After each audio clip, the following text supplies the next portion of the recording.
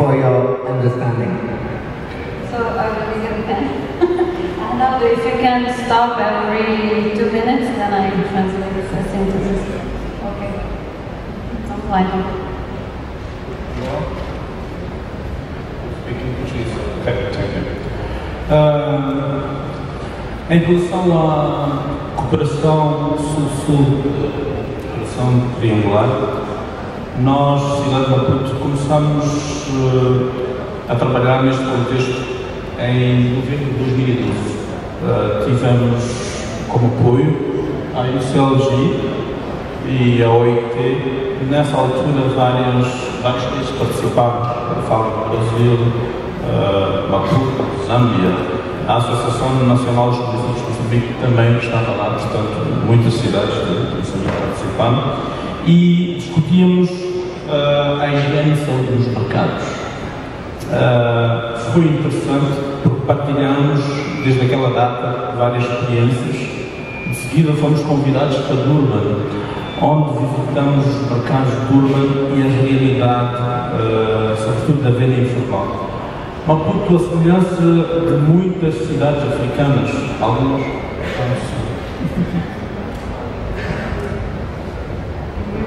Okay. So, um, The translation works in English. uh, it works when you speak Spa- uh, Portuguese? Okay, perfect. So, no need. Okay.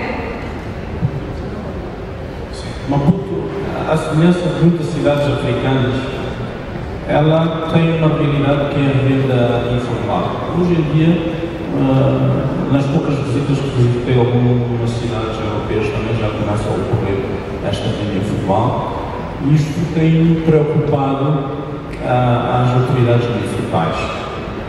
E na troca de experiência que fizemos com Durban, ah, observamos, por exemplo, que a cultura, exemplo, dos moçambicanos, dos sul-africanos aproxima-se, algumas realidades no âmbito desta cooperação sul-sul, nós podemos beber de Durban eh, na abordagem que faz à, à venda informal. Particularmente, eh, é, é, uma- é um município que já tem uma postura de venda informal. O município, ne- o município Maputo neste momento está a trabalhar no mesmo contexto. É verdade que não é, não é simples, é preciso convencer os políticos, convencer eh, os próprios municípios, porque alguns não concordam com esta realidade, para adequar eh, o tratamento eh, da venda informal. Entretanto, eh, há algumas ações que nós fizemos no âmbito da cooperação sul-sul que têm a ver com o treinamento dos vendedores informais, por exemplo, em matéria de manipulação de alimentos, uh, de alimentos sem viaturas, eh, porque hoje em dia há, há, tem estado a ocorrer várias formas de venda informal. Eh, creio que em Maputo e noutras cidades há pessoas que agora vendem carros. E isto é preocupante por causa da questão da saúde pública. E o Ministério da Saúde e outras entidades ligadas a esta matéria é preocupado. Então, há uma contradição e um desafio para a municipalidade, na medida em que os vendedores querem vender, sim, é fonte de renda deles, mas há questões de concorrência desleal e a questão da saúde pública que é posta em causa e que, ao mesmo tempo, formalizar a atividade eh, constitui um desafio. Então, hoje, Maputo está a trabalhar nesse sentido. A troca de experiências com o Brasil, Belo Horizonte e a troca de experiências com Durban permitiu-nos desenhar algumas alternativas de solução. Ah, hoje em dia, a nossa abordagem para minimizar venda informal, ela assenta mais ou menos em cinco pilares. Cinco, sim, cinco pilares. Ah, a organização da própria venda informal, onde ah, pensamos na criação de feiras municipais, ah, na melhoria dos mercados, refiro à construção, restauração ah, dos mercados municipais, já está neste momento a acontecer em Maputo. Por exemplo, nós reabilitamos o mercado central, vamos daqui a nada fazer a entrega do novo mercado de peixe O mercado do peixe é informal, foi construído recentemente e vamos ter o mercado do peixe moderno. E também estamos a equacionar a melhoria dos mercados no âmbito da qualificação mediante parcerias cooperativas. Isto é tudo resultado uh, da nossa cooperação triangular sul-sul, onde fomos buscar experiências em Durban, fomos buscar experiências em Barcelona, no que toca à reabilitação de mercados, assim como a intervenção que é feita.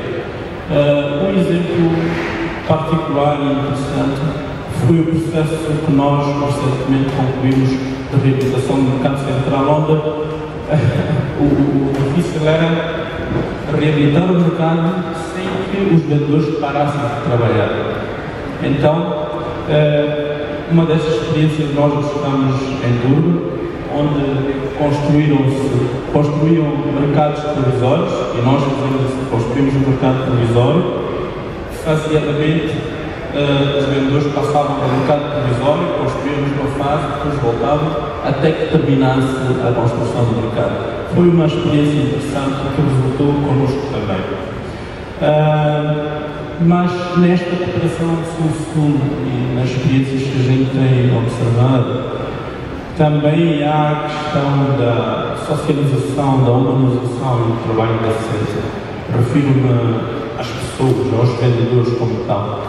Uh, em Maputo, temos, por causa da questão da vida informal, uh, problemas, por exemplo, uh, da deficiente limpeza da cidade, temos uh, problemas de reconhecimento do crime em algumas zonas da cidade, temos o problema do trabalho infantil, que são questões associadas a esta vida informal e que nós temos estado também a abordá-las de forma estratégica ou buscando soluções.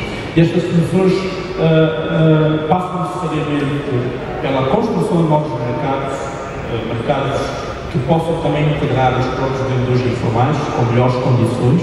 Então, há já um processo de qualificação de mercados está em curso. Nós pensamos que até 2017, 2018, vamos ter alguns mercados qualificados que nos permitam retirar alguns vendedores informais e integrar nestes mercados. Por outro lado, há também a questão da, da, da, do trabalho infantil, que este já está a ter um tratamento específico ao nível do Ministério Interior e na relação que nós temos com, com a ADSOS. A ADSOS é a Associação dos Operadores do Setor Informal. Uh, temos estado a trabalhar com eles, onde agora, por exemplo, nós estamos, aliás, nós, no Maputo, já temos um, um, um, um vínculo com a ADSOS. Temos um memorando de entendimento com eles, temos um memorando de entendimento com eles, mas uh, okay. em relação ao que está no momento a ocorrer, estamos a rever o memorando e a atribuir mais responsabilidades, porque eles, a cada dia, o número de vendedores aumenta, há necessidade deles terem mais responsabilidades que devem ajudar o município a dar respostas aos desafios que eles têm estado a prometer-nos no tocante à limpeza da cidade, no tocante à definição do horário de venda, para que a cidade possa, no momento, ficar livre, prefiro nas zonas onde há maior concentração, a implantação de sanitários públicos, onde eles mais operam para que evite a inclusão de doenças endémicas. No âmbito da estratégia dos, dos pilares que eu me referi, uh, também uma das componentes é a revisão das posturas municipais. Nesta revisão das posturas municipais e na, na qualificação dos mercados, nós costumamos ser também uh, inclusivos na medida em que, uh, quando estamos a trabalhar nestes desafios, nós convidamos essas associações para participarem connosco da produção do, do, do, dos documentos. Dão os seus contributos. É verdade que aparentemente eh, parece que há uma contradição entre nós, a municipalidade e os vendedores, mas não. Em algum momento as posturas já são regras que têm que definir a convivência na cidade. Ainda que a gente uh, aceite e procure resolver a situação de forma técnica e pacífica, há alguns aspectos que os vendedores temam em não uh, aceitar. Por exemplo, eu falei agora da, da, questão do horário, da necessidade do horário. Qualquer atividade uh, uh, produtiva tem que ter um horário uh, de funcionamento, um horário de trabalho, para que a gente possa ter algum controle.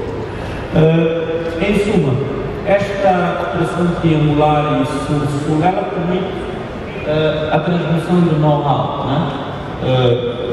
Das cidades que uma vez passaram pelo que o está a passar e estas experiências podem ser adequadas nas nossas realidades para que possamos buscar soluções eh, sem desrespeitar, portanto, o, o desafio eh, de garantir a sustentabilidade.